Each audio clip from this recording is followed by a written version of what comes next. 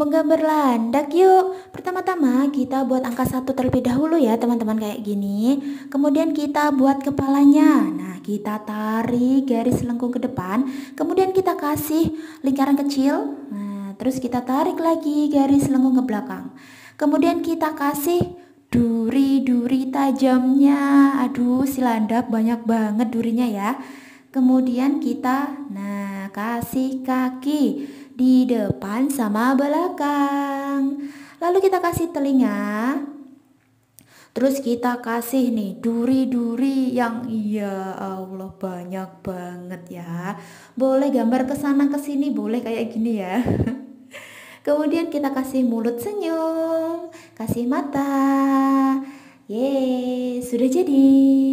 Mau tahu kalau dikasih warna kayak apa? Bisa lihat nanti ya di part 2.